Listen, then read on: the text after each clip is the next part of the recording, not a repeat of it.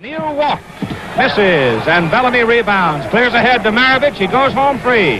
Maravich on the layup, and inside it goes to Hawkins to Dick Van Arsdale. It is blocked by Walter Bellamy. Cleared out to Maravich, and the Hawks in blue on the move. Bellamy missed it. Whistle stops the action. Points a game out of Indiana. He missed a pair, and Maravich goes to the corner for the rebound. That's Hazzard. And ball game. 9-10 to go, first quarter. Maravich and Haskin. Now 4-2, the Suns lead. Pistol Pete with the ball being checked out in front by Haskin. Inside, blocked by Bridges on Haskin's shot.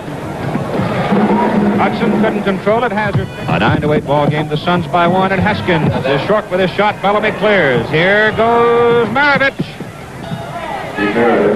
Van Arsdale and Haskins get. Bill Bridges to Maravich.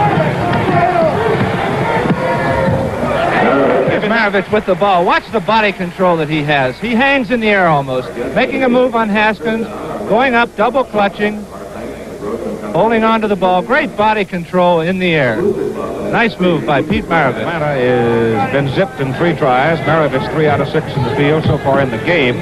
We're in the second quarter. Here's the hook by big number 31, Bob. Oh, he's a big, strong seven-footer. He sets a pick for Maravich. We have 7.24 to go. points. Taylor loses to Pete. He's tough. 45-31. Phoenix. Rebound to Hazzard. Maravich Now he's a vital part of the Atlanta offense. In the penalty. He has 11 points. Connie Hawkins is on the bench with three fouls picked up early in the game. Maravich feeds inside to Jim Davis. Great pass.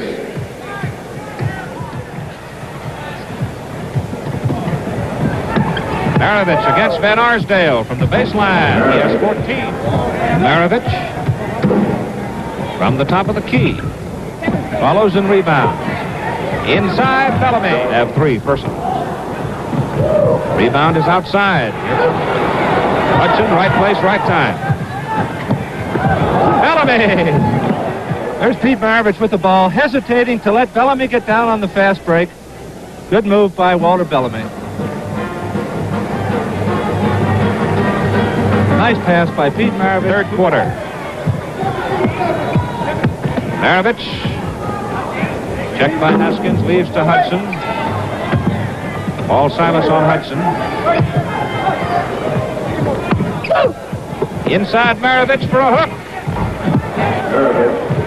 So the three-point play eludes him, and Atlanta comes down. Maravich. He's hot. Hawkins up for the rebound. Can't control it. It's Maravich. Go down for him. Bridges rebounds it. Clears to Hudson to Maravich. Maravich against Van Arsdale. Dick falls down. For Haskins. Now let's see if Maravich can stir up the Hawks again. Haskins checking Maravich. Bellamy looks inside. Nobody there.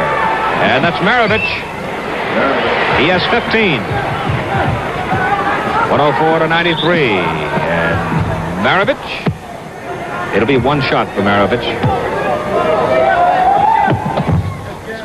Free for a shot that rebounds out deep to Pete Maravich. With 7.05 to go on the ball game. 106-95 Phoenix. That's Hazzard. Atlanta's in a dry spell, but Bridges inside on 110 to 97 Phoenix. Maravich. He's has four, all Phoenix. Short. Look at that Silas inside. Taylor again. Slapped out of there this time, and the Hawks have it. Three on two. Hudson.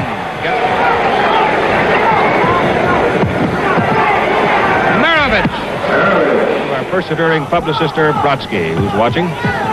Is with us to the NFL football. And Jack Twyman prepared a special feature on Pete Maravich. I think you'll enjoy some of the moves uh, of Maravich and some of the comments of my colleague, Jack Twyman. Typical of all his qualities is a play in Phoenix. Here, number 10, Fred Taylor knocks the ball away from Pete. His fast reflexes enable him to make a great recovery, but then he goes in and forces a shot and misses it. Yet, on another night, Pete will take the same impossible shot and make it. Here in San Francisco, Pete takes a long shot and misses, but it doesn't discourage him. A few moments later, we see him use teammate Jimmy Davis, number 24, to shake loose from Al Attles. He heads back for the exact same spot and fires again. This time, two points. Like all great scorers, Pete is hungry for the ball and hungry to shoot, but he's hitting a better and better percentage as the season progresses. In super slow motion, it seems that Pete has gone too far beyond the backboard to make this shot. Yet you'll notice Pete has learned to follow up his own shot, even though here it's good. Pete and his teammates are still learning to play with one another. Sometimes it's utter frustration, like here with Walter Bellamy. And other times, the result is a sensational play, as here with Jerry Chambers. Another lesson Pete's learning, cross-court passes are easy to intercept.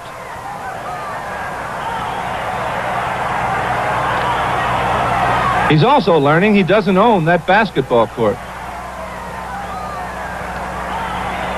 Fans thrill just to see Pete dribbling, changing from one hand to the other. It's a show all by itself coming down court. But his style can cause him trouble, especially in heavy traffic and against a six-year pro like Wally Jones of Philadelphia right here.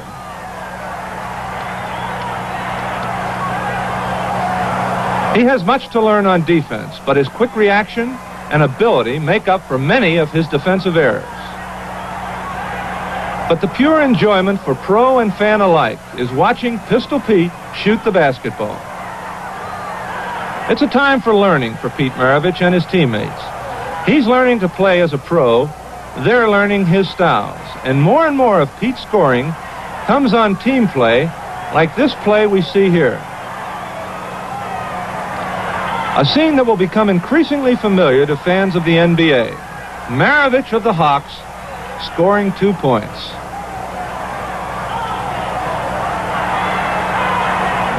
Pete, we talked at uh, halftime of your first game as a pro, and uh, now this is game number 35. What are you doing uh, differently, if anything?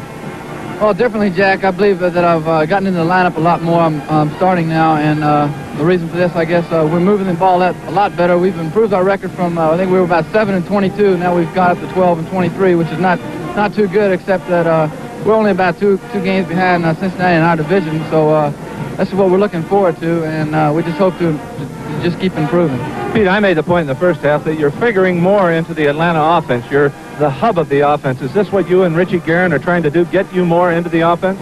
Well, I think we just try to keep everybody in the offense. Uh, we want to try to keep all our big men happy, and, uh, you know, that, that, you have to do this. And uh, our main uh, thing is just to try to run as much as we can, and when we don't have the shot, to try to set up one of our big men. Pete, how about defensively? The uh, Suns have been running you into double and triple picks. Uh, has that been a problem for you in the first 35 games of your pro career? Well, I've been running into a lot of picks, and I've gotten all my knocks. I've had about 10 stitches so far this season. I'm sure I'll get a lot more, but uh, the main thing on these, uh, what, we, what we're going to try to do is just try to switch more often uh, because they do do a lot of, uh, you know, cutting off their centers and their forwards. How about this Atlanta ball club? You're 12 and uh, 23. Do you think that you can turn it around, so to speak, and do you have the kind of a ball club that can be a factor in the last half of the season? Definitely, I think so. I think we are coming of age right now. We've won uh, six of our last eight games, and I think that uh, we are about 75% of our schedule is at home in January, so this is definitely an advantage for us. So we're just looking forward to you know the new year and everything, and try to you know try to get things going again. Fine, Pete. Thank you very much. Thank you, Jay. Fine. Now let's go back to Keith.